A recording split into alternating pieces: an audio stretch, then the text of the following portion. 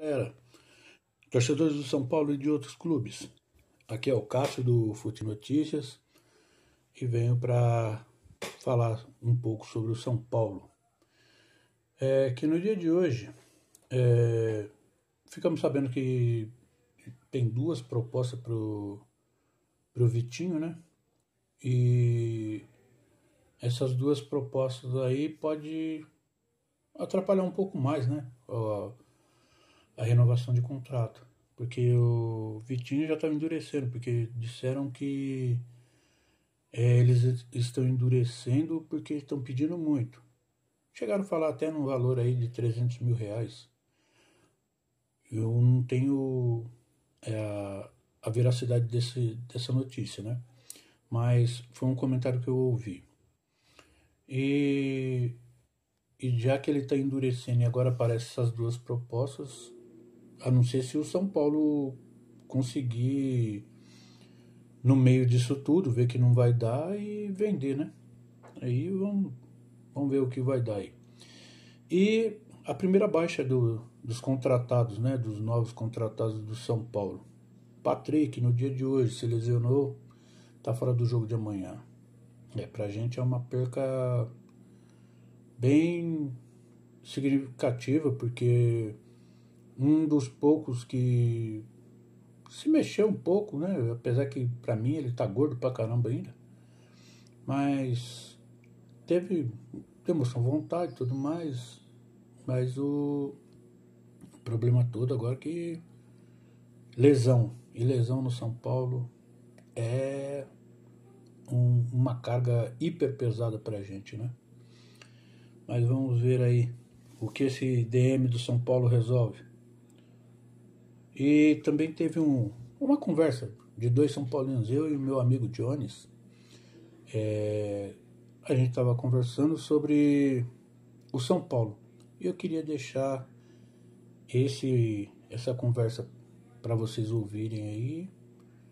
E no final, peço que vocês possam é, comentar sobre o, o nosso bate-papo e peço para vocês que se inscrevam no canal para poder me dar uma força aí. É, dê os likes, né? Porque eu, eu quase não, não, tenho likes.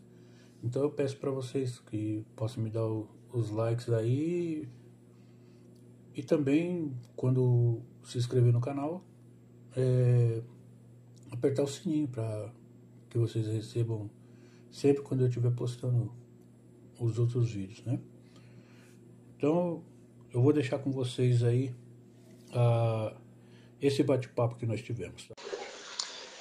E aí, Cássio, beleza? Tudo bem? Então, cara, eu tava olhando aqui, cara, a minha perspectiva seria nem ter trazido esse treinador, mano. Nem era pra ter trazido esse Rogério, velho. Acabou o brasileiro, já manda esse cara embora. Vamos começar um planejamento com outro treinador. Porque a verdade é essa, posso falar a verdade? Se o São Paulo não for longe no Paulista, mano, ele vai sair fora. Ou ele vai sair fora, ou o São Paulo vai mandar ele embora. Eu não sei nem que ter trazido esse cara. Esse cara tá matando o Rigoni, cara.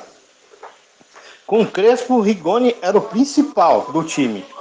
Com o Rogério, o Rogério tá matando o Rigoni, cara. Tá pondo ele em posição errada, tá ligado? Tá, tá quebrando o cara. Que nem, por exemplo, trouxe esse Nicão. Cara, já falei. Eu acho que foi muita cagada do São Paulo trazer esse cara, ainda mais pra pôr 10 nas costas dele. Mas já que ele tá lá, vamos torcer pelo cara, entendeu? Vamos lá, vamos torcer. Mas, porra, me desculpe, cara. O Rogério tá matando o cara também, velho. Não dá, cara. Esse Rogério Ceni não dá. Desculpa. É um ídolo, é um ídolo nos gramados, entendeu? É um ídolo aí para muitos São Paulino. Para mim é o Zete, ele, aí, esses caras são ídolos. Mas, cara, acabou as histórias dele dentro de campo, cara. Aí eles trabalhando no futebol, desculpa, velho. Não dá. Não dá, tá terrível, velho. Raí no futebol, só raiva. Rogério no futebol, só tá dando raiva. Eu concordo com você, Jones. E é aquele negócio, cara. É... Você não, não sente firmeza nele. E hoje que ele começou a tirar o corpo fora, né, meu? É, em termos de em vez de assumir a responsabilidade, bater no peito, tipo, pô, eu nasci aqui, me criei aqui e, e parei de jogar aqui, eu sou ídolo. Aí, tudo bem, é ídolo e como jogador. Agora, como treinador, para mim, tá sendo uma piada de mau gosto. Ontem eu tava assistindo uma live aí que os caras pegaram e falaram que ele parou de. Quando ele tava para parar de jogar é, futebol, ele pegou simplesmente falou, não, eu, eu vou brincar de ser treinador, porque, meu, com tanta gente para jogar por aí, os caras é, não arruma, o, o scout do São Paulo não, não procura ninguém por aqui mesmo, na, na América do Sul, no Brasil. Pô, na segunda divisão assisti muitos jogos aí, tem muito jogador bom, cara. Agora os caras ficam com coisa aí querendo buscar só medalhão, só. Tudo bem, trouxe o Nicão, o Patrick. É... Mas só que é o seguinte, não só o, o, o Rigoni e o, e o Patrick, e o, e o Nicão, o Patrick também, cara. Ele tá matando os caras. Você não vê uma jogada, você não vê triangulação, você não vê aproximação, você não vê nada. Nada. Eu assisti aquele jogo lá contra o Ituano, meu, se não fosse. Se não fosse o goleiro, o Jandrei lá defender o pênalti, a gente tinha perdido. Se fosse o senhor Volpe no gol, a gente tinha tomado outra derrota nas costas. É só vergonha atrás de, de, de é vergonha atrás de vergonha. O que que o Ceni fez do brasileiro para cá? Reclamou, reclamou, reclamou. Deram outro jogador, mandaram um monte embora. Tá certo que era um, um monte de gente que não queria nada com nada. Mas, meu, o que, que ele arrumou aí? Não arrumou nada. Mandaram o Crespo embora, meu, para colocar o, o Rogério para fazer isso daí.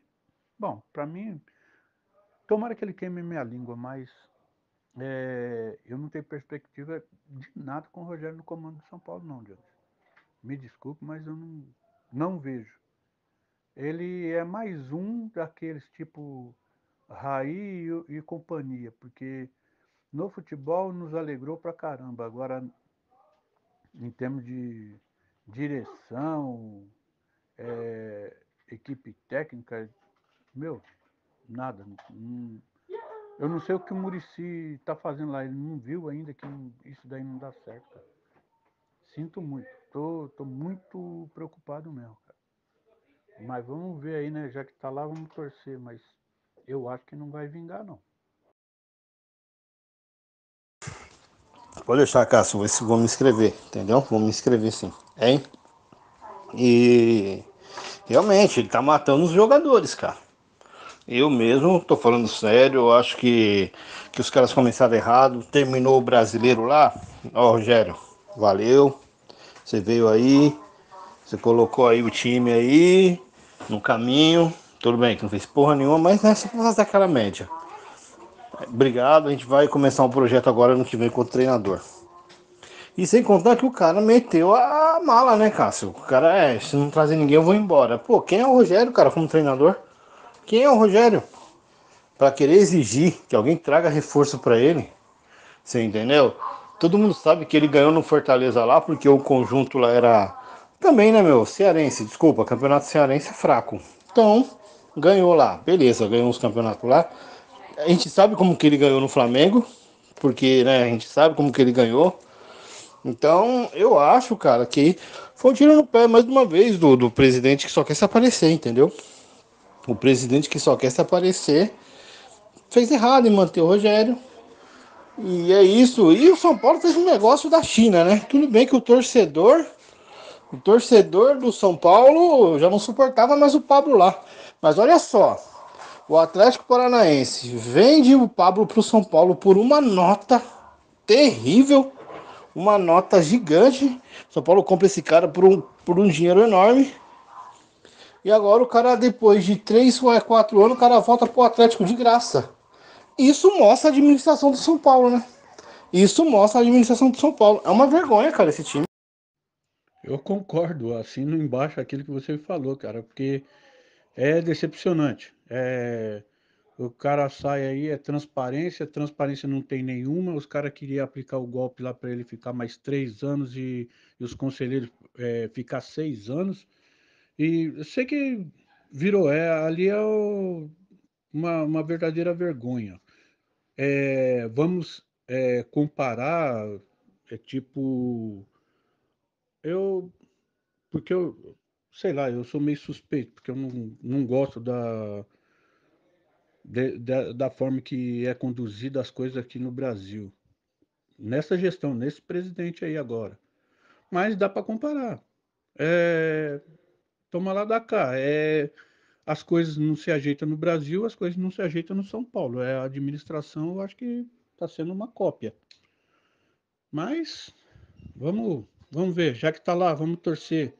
Mas só que eu também não, não concordei. Quando foi para o Rogério Vinho, eu falei, não vai dar certo. E sobre os títulos que ele ganhou aí, eu assino embaixo. Tudo bem, lá no Fortaleza tinha até um time bem arrumadinho tudo mais. Mas só que saiu de lá, não, não vingou em lugar nenhum. Né? Mas vamos ver. Vamos ver amanhã. Vamos torcer aí, vamos Vamos ver o que dá. Valeu, Jones. Um abraço aí, viu? Valeu mesmo. Tudo de bom para você. Deus te abençoe, cara.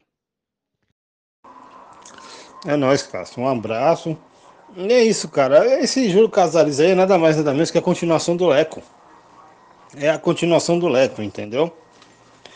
Mas nos resta o quê? Torcer, né, cara? Somos São Paulino, vamos apoiar. Apoiar quem tá lá, com certeza, né? Não podemos torcer contra o nosso time, não. Amanhã tomara que faça um jogo bom e ganhe, né? É difícil ganhar desses caras do Red Bull, mas vamos para cima. Acreditar sempre, né? Tamo junto, um abraço aí, boa noite. Verdade, Jones. Vamos torcer amanhã aí. Um abração aí, fica com Deus.